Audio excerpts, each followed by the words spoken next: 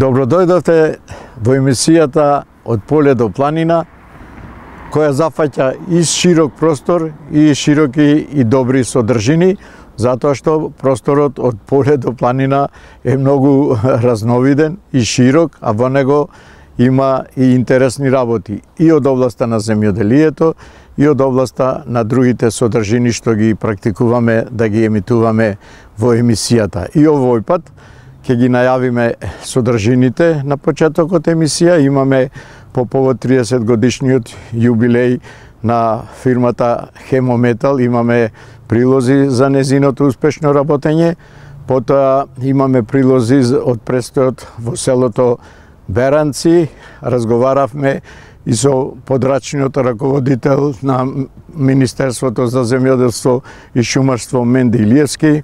Имаме посебна а, видеорепортажа од убавините на Пелистер, подготвена од Диметалевски, потоа а, фоторепортажа од престојот во Вашерејца, подготвена со Сашо Ставрев, а имаме и доста други содржини. Престојувавме и во селото Трновци. Со еден збор ве повекуваме да ја следите со интерес нашата емисија од поле до планина. Со Јован Велјановски од село Трновци за соработката со Хемометал. Интервју со раководителот на подрачната единица на Министерството за земјоделство, шумарство и водостопанство од Битола, Методија Илиевски за животот во село Беранци.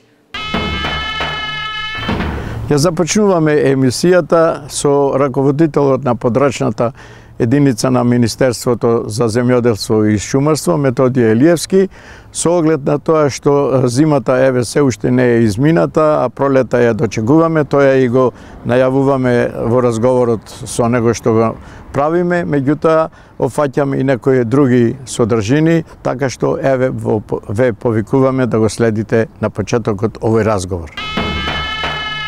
Зимата каква таква веќе е на изминување. Се надевам дека успешно ќе дочекаме пролетната сезона.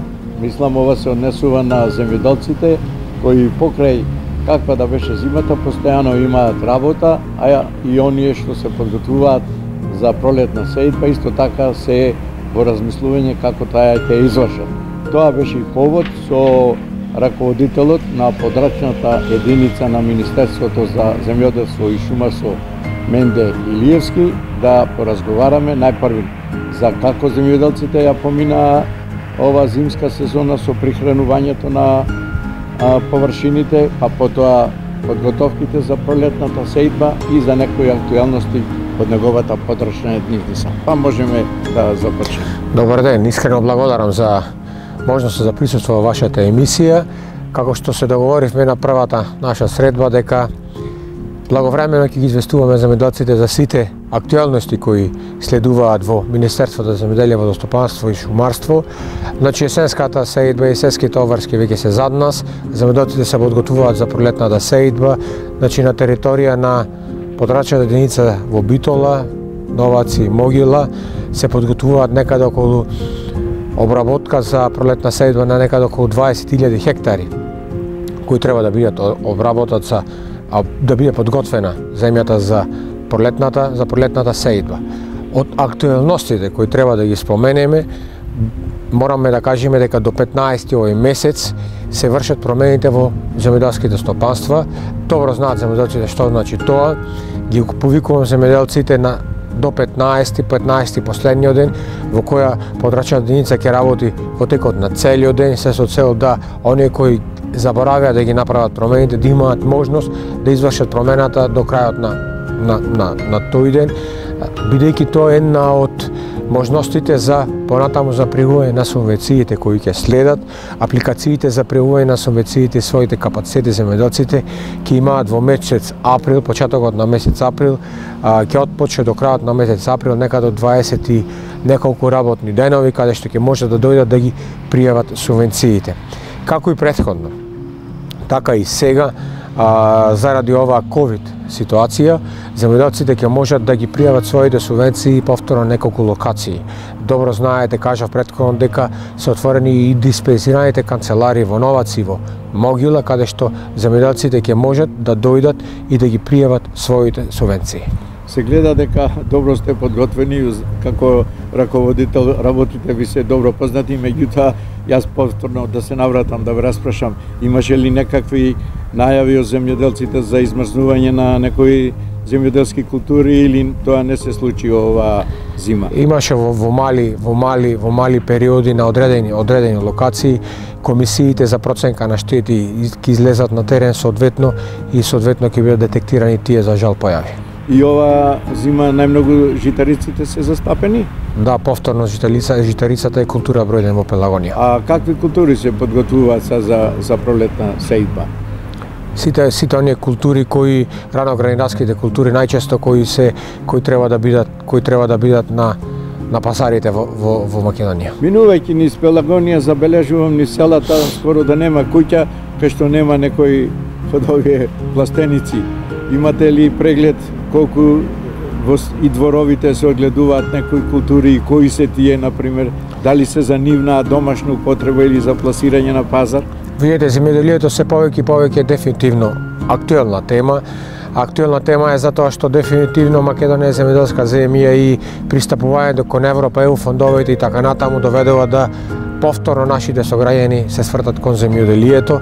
Земјоделието станува тренд, особено со ова COVID COVID криза и можам да кажам дека дефинитивно се зголемува бројот на а, семејства, односно домакинства кои се повеќе занимаваат со земјоделие, дали од страна за екзистенција или од страна за производство на храна за домашни потреби.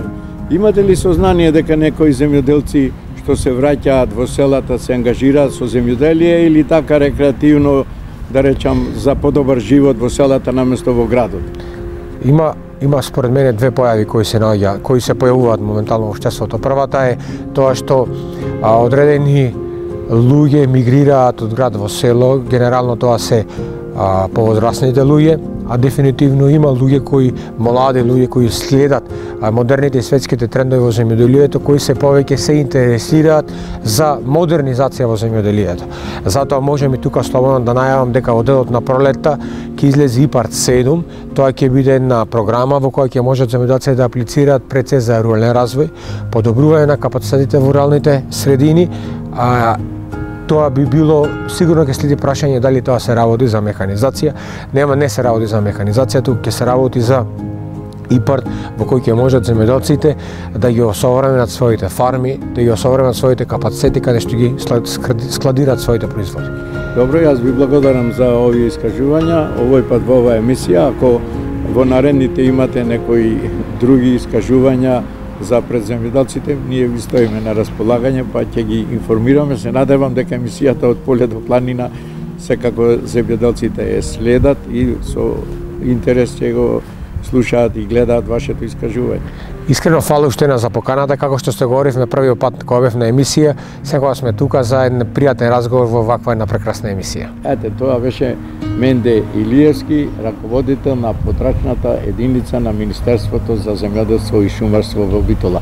Земјоделците, ако сакаат и прошлиот пат рековме, односно минатиот пат рековме дека можат да ве најдат и на терен и во вашата канцеларија, значи стоите за потесна соработка со нив. А, апсолутно. Секој работен ден во просториите на канцелариите на Министерството за земјоделие, шумарство и водостопанство су присутен јас и моите колеги, така да сите своји прашања, обврски кои ги имаат, стоиме на располагање. Може би ќе изгледа дека се повторувам на неколку пати споменувајќи го јубилеот на Хемуметал, меѓутоа 30 години успешна работа вреди да се споменува и да се одбележува.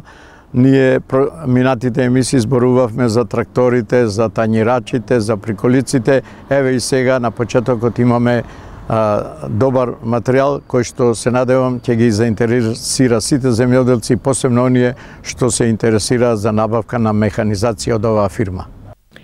Компанијата Хемометал е партнер и пријател на секој земјоделец. Секој земјоделец знае дека кај нив може да ги најде најсовремените брендови на трактори, но и различни видови на земјоделска механизација, кои што се технички усовршени и со препознатлив висок квалитет.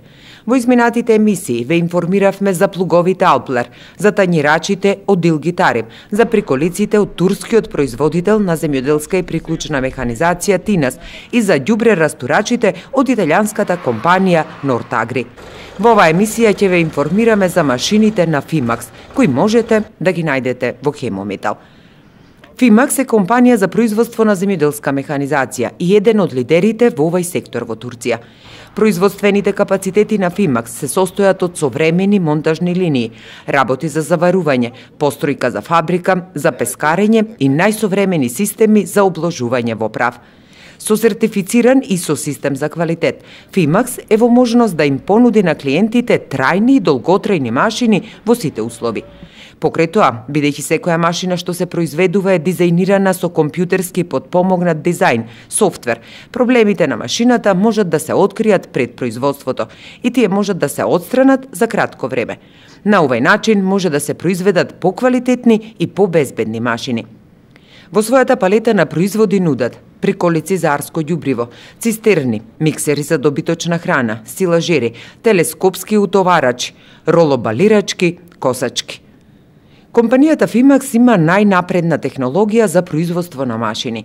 Секторите за истражување и развој на Фимакс ја подобруваат земјоделската механизација, автоматизирани CNC машини, роботи за заварување, автоматско фарбање и многу друга напредна опрема обезбедуваат голем размер на подобрување.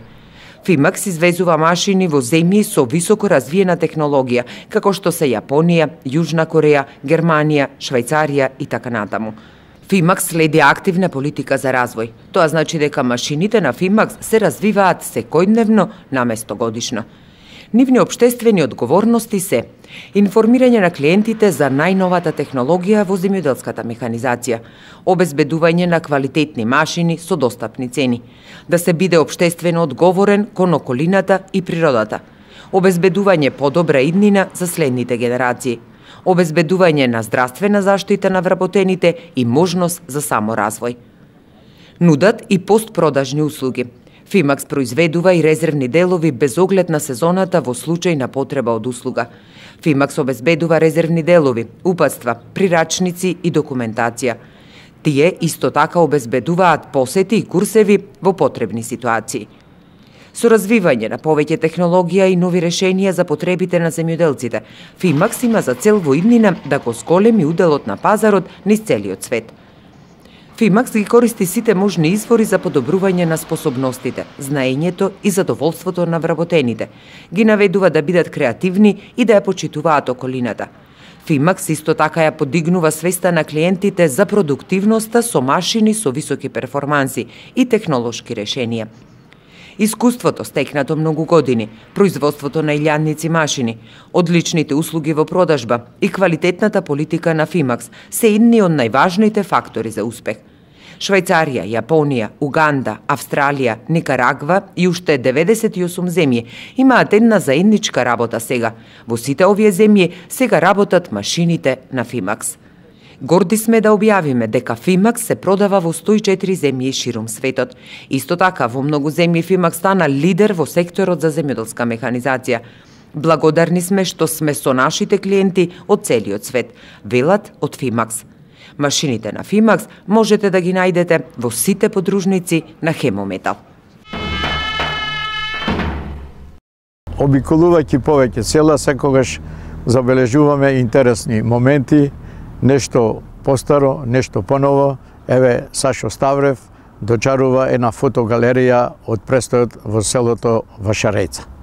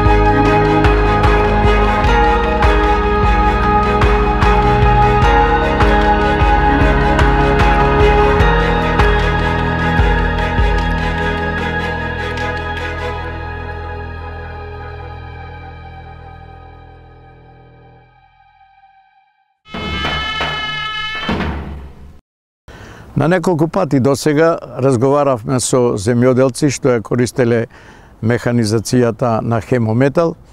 Таа е разновидна и богата со широк спектар, можна квалитетна, затоа не треба јас да зборувам, зборуваат самите земјоделци.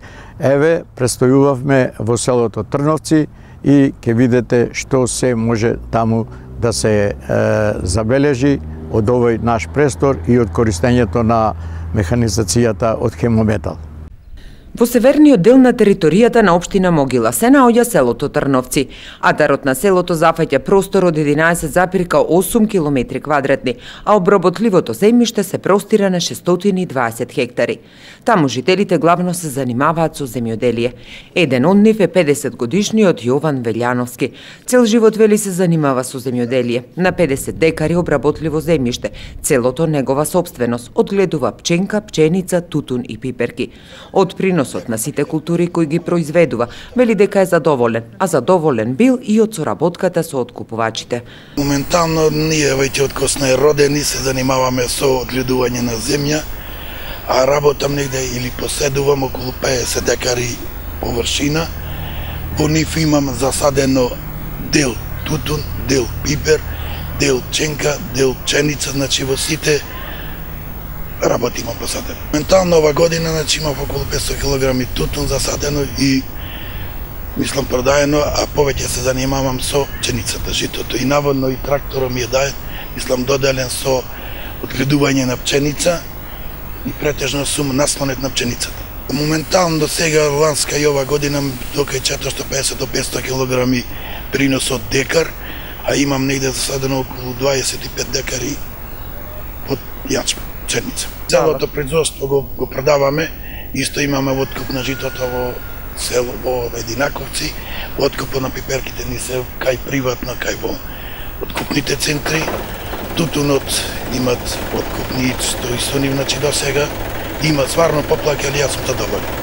Следејќи ги современите земјоделски трендови, а со цел да може да постигне поголеми приноси и подобра заработувачка, тој во 2012 година преку програмата ИПАР го добива тракторот Солис од Хемометал. Па, моментално земјата обработував како прво 2012 година првиот трактор што ми беше земен Солис од фирмата Хемометал и одобрен и како најпрво сум презадоволен и од трактора па еве по 3-4 години го навлев и дуплиот трактор, што значи дека цела земја обработувам со солис тракторите. И презадоволен. Значи моментално ја заштедувам и на време, и на гориво, и на сите работи од и тракторот е дуплак, работам со тројка големи плугови, со еве ќе види и механизацијата со огромна механизација да речам, со сета приклучна машина сум капацитет што ми е потребно. И уште на поголеми машини, уште повеќе. значи како земјата се си барат се поголеми машини, се поголема механизација и за на приходи, и за на време, и за сите работи. Покрај тракторот, тој поседува различни видови на приклучна механизација, која што му е необходна за да ги реализира своите планови. Поседува приколица, редосеалка, прскалка за житни култури, циклон за употреба на вештачко ѓубре, плугови, брана и друго. Како најпрво, значи, 2015 година Тина спеколицата ми е исто, селка, ќе ги видите, имам и плугови тројка, имам и прскалки, значи сето тоа ми е одобрено со програмите, со националните, со другите програми, со 85 на 100. И мислам дека, еве, втора година ми е на соли со дуплак, како што да работите. Наредна уште 2-3 години ти веќе сум ограничен, до 5 години, и мислиме дека да го продолжиме, да го напредиме и со земјата, и со поголеми трактори доколку не одговарат условите. На соработката со Хемометал, како најпрво унапред, најголем поздрав до газдите и директорите Мирко Диме и Александра. Поздрави до сите вработени во Хемометал, значи сиот персонал од 2012, значи поточно првиот трактор Солис ПСК, јас го зедов, мислам и доделен од земјоделие за унапредување од Скопје. Поздрав од подрачната од Битола, што ми излегоја во најголем сусрет пресрет за подготовка на документите и ми го добрија веќе. Значи првиот трактор 2012 беше одобрен кај мене во име моје. Иако вели земјоделието е мачно и тешко, не се откажува. Планира да го зголеми своето производство, а тоа бара и подновување со нова приклучна механизација, која како што рече Велјановски, ќе ја набави од Хемометал. Се занимаваме со земјоделие, да, поточно, али како што да работиве, малце намалуваме, али некој работи с него трен. Сега моментално ќе одиме повеќе на житарицата, пошто тоа ми захтеват машинеријата. А иначе од се помалце обработуваме. Значи, с некоја година с незадоволни, некоја не с зависи од се. Прилично јас еве како посебно приватно ќе кажам, до сега не сум имал со ништо проблем. Може не сум количински многу, али се што ми е произведено ми е откупено. И голема благодарност до сите откупни центри кај што си носам како нивни клиент да речем. До жито, до тутун, до пиперки, други работи, немам до сега никаков проблем со исплата, да речеме се роба квалитетна, неквалитетна, се сум си својот, али сум презадоволен. Јас себе сум 71 точно 50 години и како што да работиве, мислам дека виднината тает и во државно да додам, и во приватно, значи газ да сум си на свое мое. Тоа што ќе се произведам, си го пласирам и па уште еднаш голема благодарност ќе кажам дека и мислам дека уште да напредувам со механизацијата. Во знак на долгогодишната соработка од страна на компанијата Хемометал доби плакета. Две села во Битола обично се споменуваат едно по друго српци беранци. Меѓутоа ние овој пат престојувавме во Беренци, се надевам дека нема да го изоставиме и српци. Еве еден разговор како а, го минуваат животот во ова село некогаш и денес.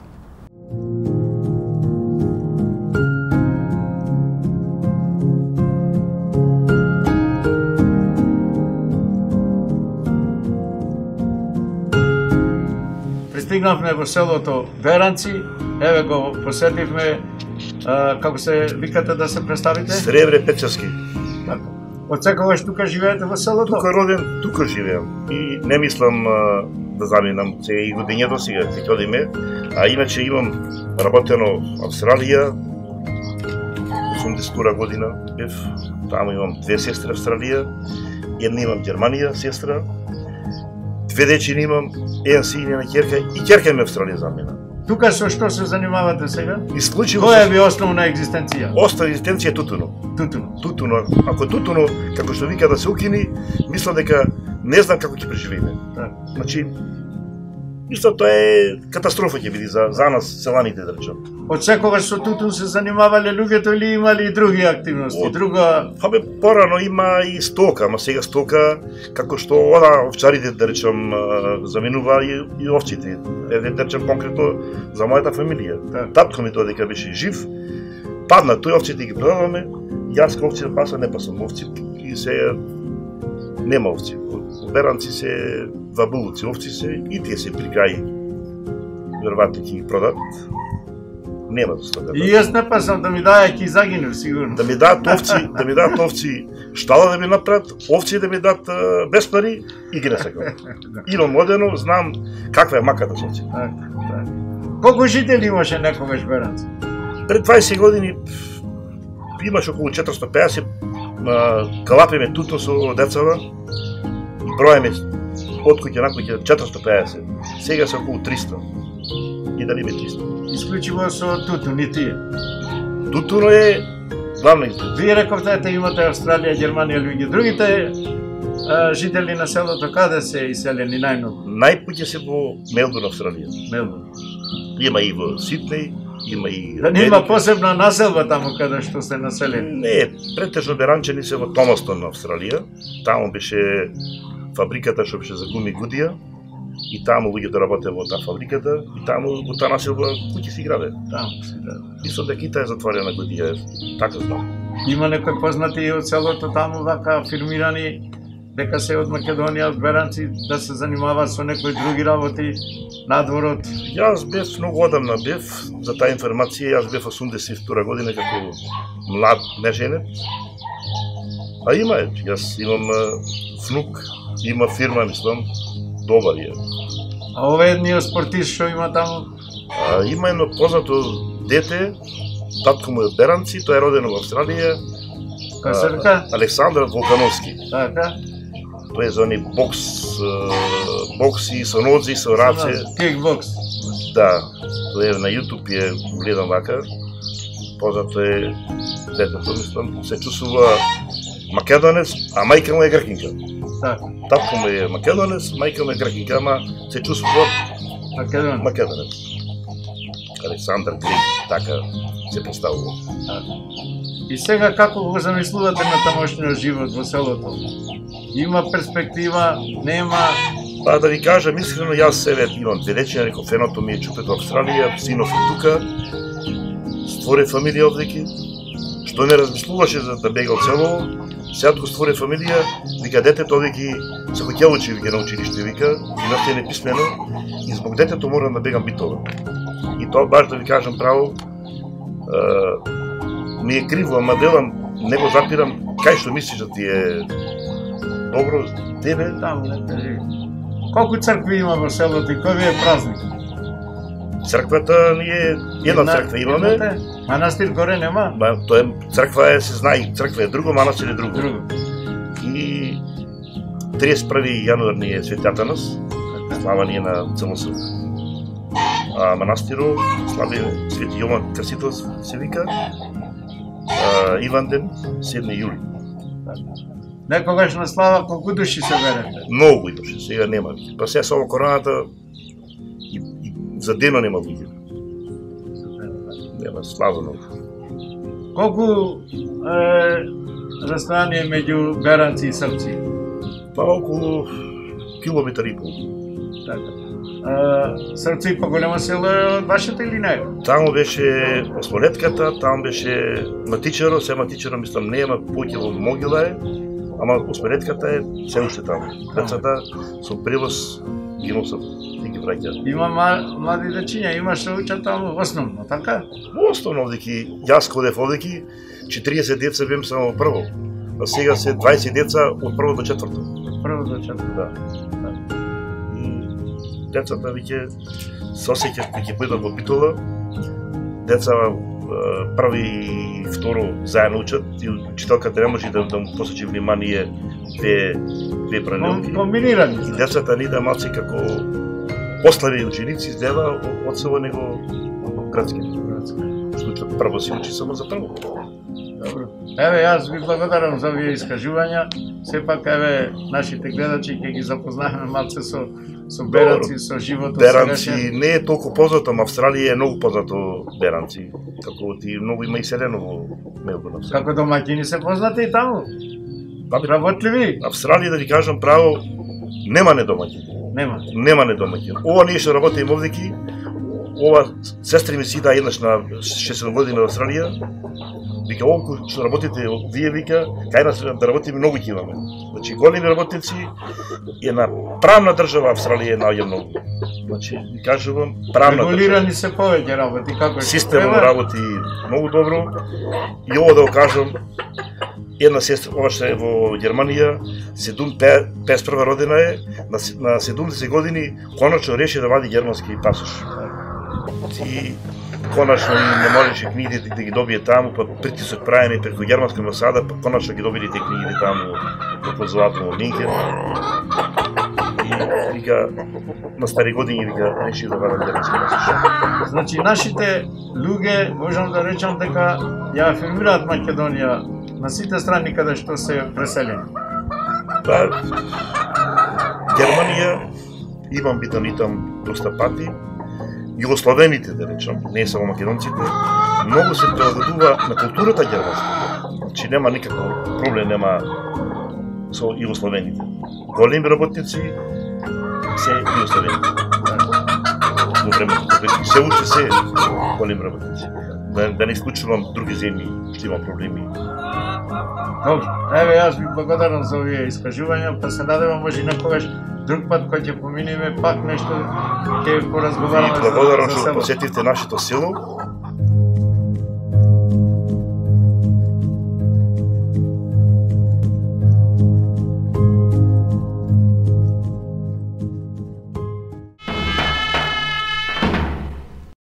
Убавините на Пелистер не можат да се дочараат со еден престор, со еден престој во нив, меѓутоа еве една зимска идила регистрирана од камерманот Диме Талевски.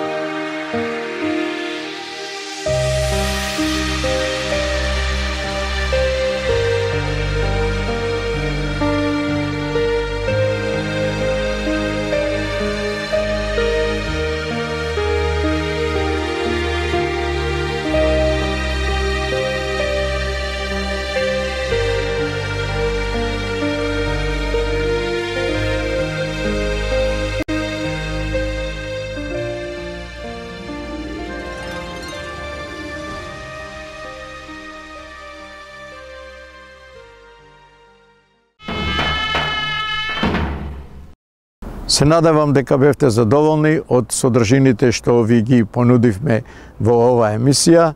Се надевам дека ќе ја гледате и наредната, затоа што и за наредната подготвуваме доста интересни содржини, посебно оние што се однесуваат за јубилеот на Хемометал 30 години успешен развој, а ќе се обидеме да ви дочараме и други е, моменти од животот на земјоделците, на луѓето од полето до планината. Гледајте ја емисијата редовно.